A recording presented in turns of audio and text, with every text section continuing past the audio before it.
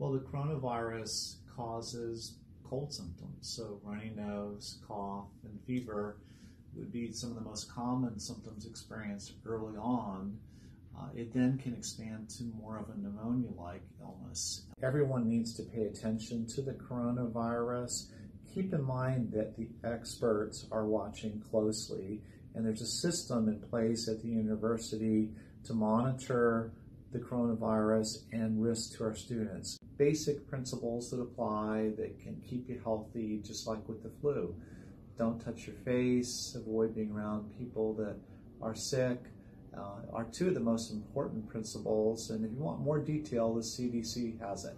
No, we're not handing out hand sanitizers, but there are 150 hand sanitizer stations strategically located around campus for anyone to use. If you are worried about the possibility, please call the health center and we can share advice or have you seen whatever is in your best interest.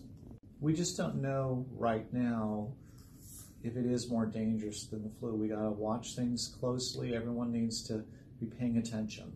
UCF Global is closely monitoring all students and faculty, for that matter, that are studying uh, or working abroad and they'll be communicating with our students about best steps to take to maintain your safety. People are certainly recovering from coronavirus. Lots of them are, in fact. Um, the, the, the, majority of, of people are recovering. Any illness may affect diabetic control. If you have a strep infection, your blood sugar can go up.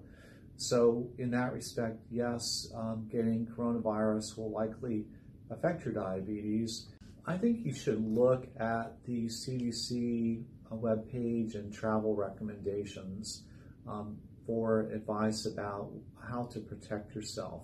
It's not the pool water that might expose you, but maybe the door handles and other objects that people are having a lot of contact with. So make sure to wash your hands frequently. The general public should not be wearing face masks um, face masks that uh, the general public are wearing uh, do not protect them from acquiring the coronavirus.